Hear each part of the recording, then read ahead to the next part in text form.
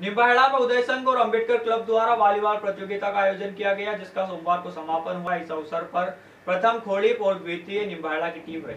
उदय संघ एवं अंबेडकर क्लब निम्बाहेड़ा के संयुक्त तत्वावधान में नगरपालिका के सहयोग से कृषि उपज मंडी के सामने स्थित नेहरू स्मृति उद्यान में सोमवार को दो दिवसीय जिला स्तरीय ओपन सेमी शूटिंग वॉलीबॉल प्रतियोगिता का समापन हुआ।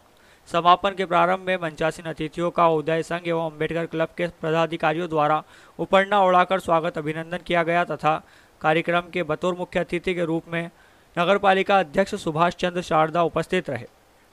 वॉलीबॉल प्रतियोगिता में 16 टीमों ने भाग लिया। उक्त टीमों में से दो टीम खोड़िप व निम्बाहेड़ा फाइनल में पहुँची। खोड़िप टीम ने फाइनल में विजय प्राप्त की एवं निम्बाहेड़ा उपविजेता रही।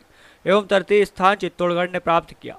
मुख्य अतिथि शारदा द्वारा विजेता टीम खोड़िप के खिलाड़ियों को ग्यारह हज़ार रुपये नगद, प्रथम पुरस्कार व मेडल पहनाकर एवं ट्रॉफी देकर तथा उप विजेता टीम निम्बाहेड़ा के खिलाड़ियों को इक्यावन सौ रुपये नगद पुरस्कार व मेडल पहनाकर एवं ट्रॉफी देकर एवं तृतीय टीम चित्तौड़गढ़ के खिलाड़ियों को इक्कीस सौ रुपये नगद पुरस्कार व मेडल पहनाकर एवं ट्रॉफी देकर खिलाड़ियों का सम्मान किया। इस अवसर पर शारदा ने कहा कि इस प्रकार के आयोजनों से ग्रामीण प्रतिभाएँ उभर कर सामने आती है, साथ ही आपसी एकता और भाईचारे का विकास होता है।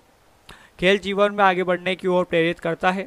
समापन के अवसर पर पूर्व विधानसभा युवक कांग्रेस अध्यक्ष रवि प्रकाश सोनी, जिला आयोजन समिति सदस्य एवं पार्षद मनोज पारक पार्षद सलीम चाचा, पार्षद जावेद खान, उदय संस्थापक पवन कुमार सिंह, उपाध्यक्ष दुर्गेश अग्रवाल, सदस्य राजेश धानी, नीतीश शर्मा, राजेंद्र पानिया, भरत तेली व अंबेडकर क्लब सदस्य सुरेश सेन, अंबालाल मेनारिया, सतीश लड्डा, तोसिफ खान, भंवर सिंह मकबूल खान दयाल पुरोहित, मुकेश सहित जनप्रतिनिधिगण, गणमान्य नागरिक एवं बड़ी संख्या में खेल प्रेमी दर्शक मौजूद थे।